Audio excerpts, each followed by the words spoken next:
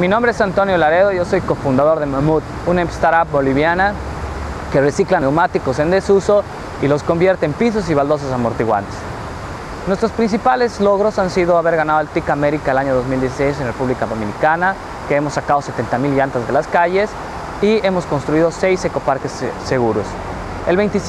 nosotros ocupamos a 25 personas y el 60% de las personas son mujeres y tienen un promedio de edad de 23 años.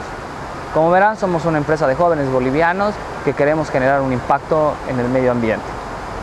Eh, nosotros hemos, yo he participado como delegado de, mi empresa, de mi compañía, Mamut, en el Next Links 2016 organizado por el YABT,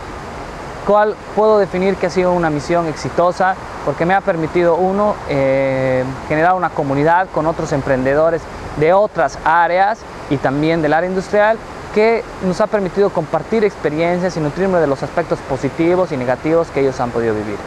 El segundo punto, que a través de las mentorías, la asistencia a congresos, asistencia a seminarios, hemos podido eh, participar de una semana muy provechosa de innovación que que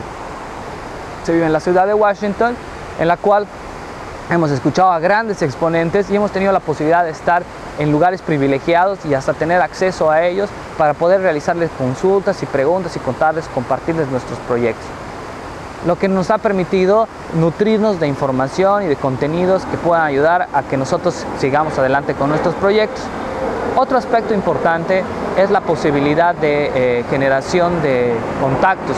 El YABT ha identificado cuáles podrían ser los contactos más importantes y nos ha permitido a través de un proceso de mentoreo y de capacitación poder exponer con claridad nuestras ideas y generar contactos que puedan ayudarnos, uno, a generar opiniones o posiciones de vista y también la posibilidad de generar de negocios o relaciones de interés común.